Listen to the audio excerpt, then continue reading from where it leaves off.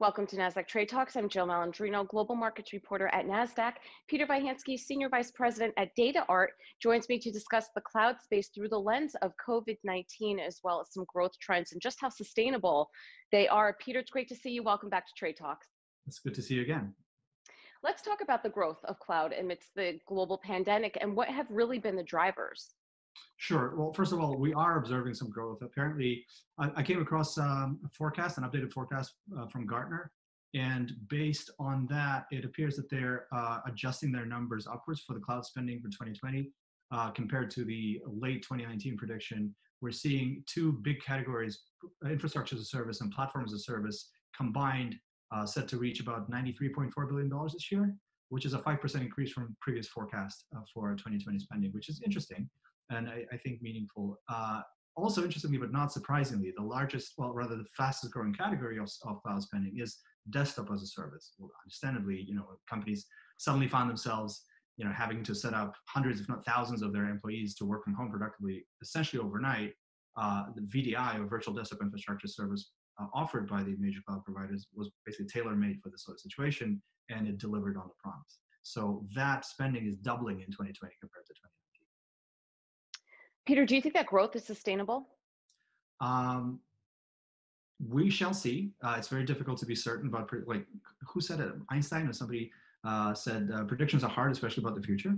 But um, what we are seeing, I think, is well illustrated by a recent survey that I came across. The survey was conducted by Snow Software, and they reached out to about 250 enterprise IT leaders around the world, and they asked them what's happening with their cloud spending and cloud initiatives uh, during the times of the COVID pandemic. And what uh, the responses uh, indicate is, is quite interesting. So first of all, four out of five respondents are saying that they have increased their, uh, their use of the cloud during the pandemic.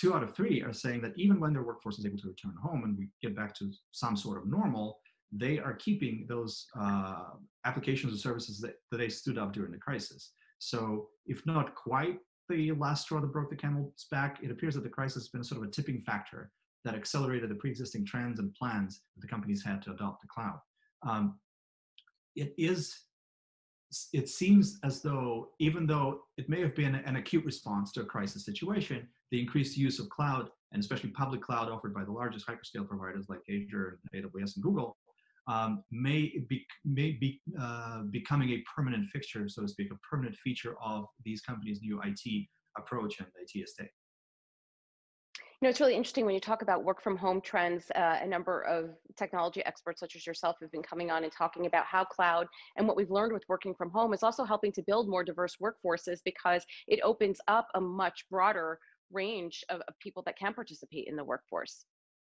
There's no doubt that that's that's in fact uh, what's going on, and we touched upon VDI, right? Uh, desktop as a service. Clearly, uh, there's no you have no prayer if you don't have this robust offering that luckily was there when we needed it um, to set up work computers for thousands of your staff to be able to productively work from anywhere in the world as long as they have uh, connectivity.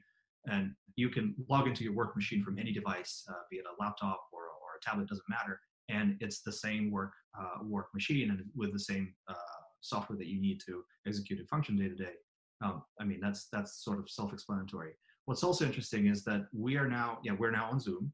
Um, many of my colleagues, and sometimes including myself, spend most of their days on the video conferencing and collaboration tools like Zoom, like WebEx, like uh, Teams.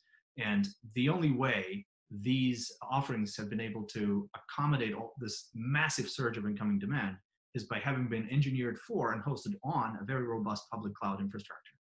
Um, it, we wouldn't have had a prayer without you know the cloud. So we, we have cloud to, to thank for the fact that we're able to speak and see each other and, and effectively collaborate. And I agree, this is, and, and you know, I'm not being very original here, but obviously th- this has changed the way we collaborate probably forever. Um, it is very clear that you can be extremely productive without needing to commute to the office. And even though face-to-face communication is still better, um, mm-hmm. you be, it, it, can be good enough with these wonderful sophisticated tools. So the, the combined growth in the utilization of those tools has undeniably uh, fed the uh, growth in, in cloud spending that we're observing in the market. All right, Peter, great to have you with us as always. Thanks for joining me on Trade Talks. Thank you. And thanks for joining me. I'm Jill Malandrino, Global Markets Reporter at NASDAQ.